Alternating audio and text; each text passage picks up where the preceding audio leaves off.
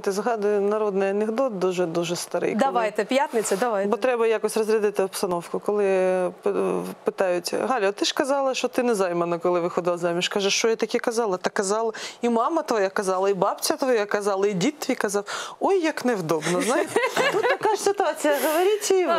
Питання в іншому. Давайте розбиратися з приводу фаховості.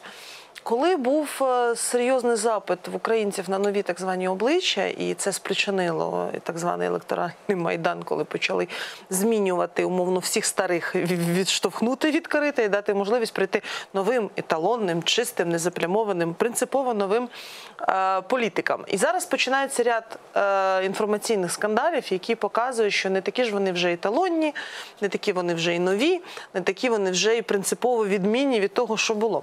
І це насправді величезна проблема. Питання в іншому, що ми зараз знаходимося напередодні виборів, і як це умовно лікується, або чим це буде перебиватися, яке є умовно отрута і протиотрута.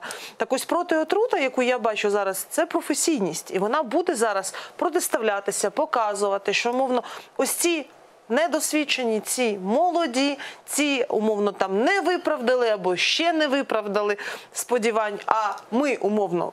Фахові, можливо, не такі нові, як хотілося б, проте знаємо, що робити. І ось на цьому протиставленні буде дуже багато сил зараз е, показувати умовно е, або продовжуємо такий хаос, який зараз знаходиться, або давайте обирати принципово щось. Ну а ми змінне. поки